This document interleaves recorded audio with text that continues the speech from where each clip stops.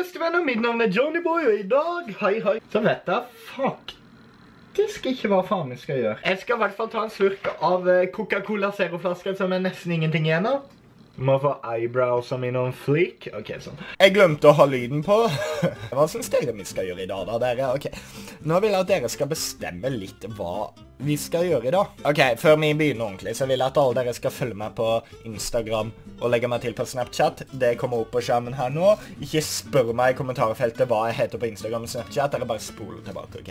Ok, det er ikke for å være frekk mot dere, men det er bare for å hjelpe dere litt, liksom. Spol tilbake på denne videoen for å se det igjen, eller se pause, vet da faen. Man kan det, tror jeg. I dag, eh, jeg vet da faen. Hmm, kanskje vi har litt kjærlighet nå? Skal jeg gå inn på en video, den der som gikk så bra eh, når jeg kledde av Prebz og Dennis for en stund siden. Dere husker sikkert det. Den har fått en del views og sånn. Eh, jeg har tenkt å gå gjennom kommentarene der og litt svar og sånne ting. For det der er det faen så mye viktig. Det er, det er drøyt. Det er så gøy å se gjennom alle 13-åringene som ikke vet hva de driver med. Jeg vet da faen hvorfor jeg tok på headset, men jeg bare ser litt mer proff ut når jeg har den på. Ja, ok, den har fått 6651 visninger. Den har 337 likes. 160 dislikes! Jeg skal dislike min egen video sjøl. Se på denne kommentaren jeg festa. Yo, homseboy, du kan ikke hate noen som er så kule som dem. Du er en taper som sitter hjemme hos mammaen din, helt sikker på at hun kommer hele tiden inn på rommet og ber deg være stille, så ikke vær frekk. det måtte jeg feste, for det er noe av det deiligste jeg har sett. Jeg må gi den en hjerte. Jeg likte også at Dennis skrev at han hater meg. Så ser du en kommenterer, samme her. Du er en fittefaen kuk.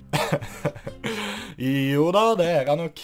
Seriøst, se her. Jeg vet ikke om dere kan se det ordentlig, for det er sånn speilvendt og greier, men det står I hate deg. Jeg får bare hate hele tiden, men det går greit. Hvorfor så mange hate-kommentarer? Det er bare kødd. Hvordan kan ingen av de hjerneskade folka som ser på Prebz og Dennis få det opp i huet sitt? Jævlig bra sagt. Den fortjener et hjerte. Og så kommer det en og kommenterer. Din feite balle, du er fuckings hjerneskada. Åh, det er så gøy. Det er så jævlig gøy. Ok, det her fikk jeg faen så hate for, husker jeg. Du kan ikke forskjell på Ruben og Sondre engang. Jeg sa feil. Det var ikke med vilje, men det var faen så feil. Se her igjen. Det var ikke Sondre engang som hadde blondt hår. Det her er det beste med den kommentaren. Det er en som svarer Roman Atwood er best. Jævlig bra sagt. Jævlig bra lagd. Halter deg, Jonyboy. Men, men seriøst, jeg skjønner faen ikke hvorfor det er så jævlig hate. Hvis du kler av Prebz og Dennis, hvor er nakenbildene? Jeg kom hit for en grunn. Du fortjener ingen sub av meg, og så fuckfingre og sånn. Mer som Ponyboy. Takk. Åh, fy faen, det her går. Men jævlig bra kommentar. Du suger til å roaste og ingen disser Dennis sånn, så fuck deg. Prebz og Dennis er best, og hint, hint, jeg hater deg, Bæsjiboy. Bæsjiboy.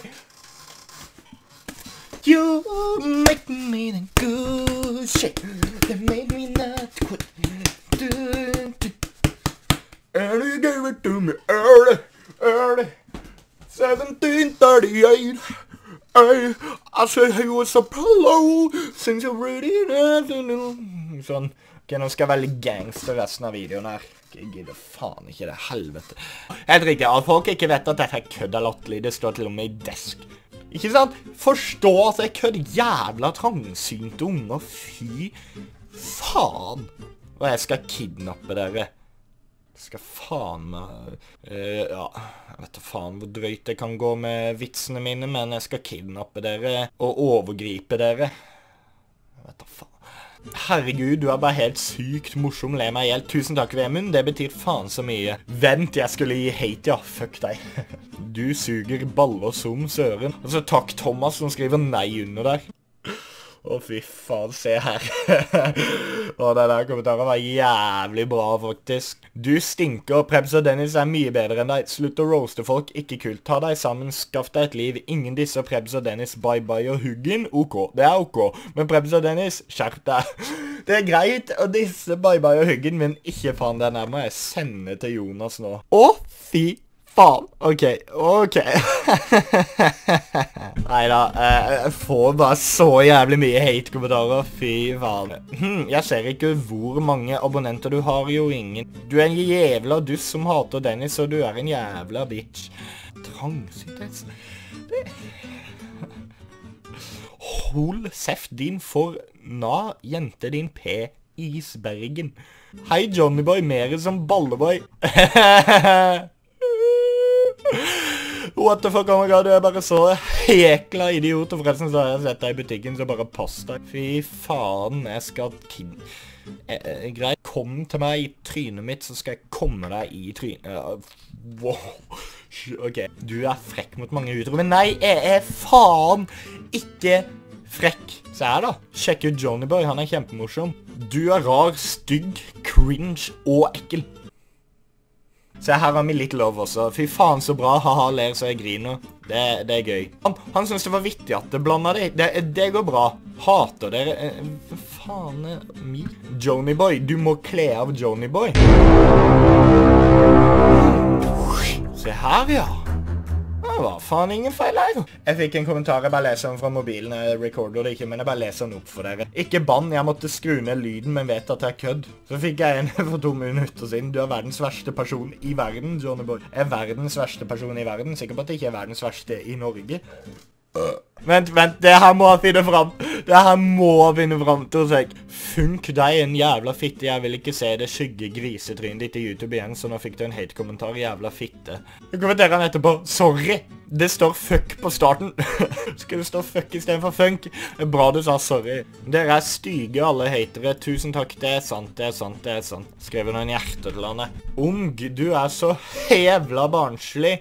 Hvem gjør sånn egentlig? Du er drittstygg kommenterte jeg hva sier foreldrene dine om at du mobber for dere alle haters, bare sånn at dere vet det. Jeg vet du er en hater som ser på videoene mine nå og griner på innsida, for det er så jævlig mye bedre enn dere i alt.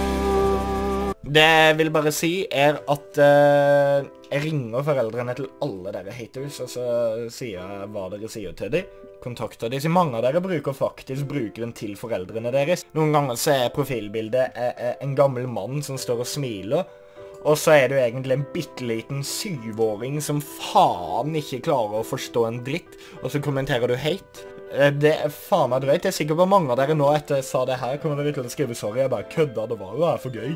Jeg gir jo faen. Jeg er sikker på at dere som er haters her, er mobbere på skolen. Dere er så jævla fucka i hodet. Og så jævlig tapere hvis dere snakker dritt om andre.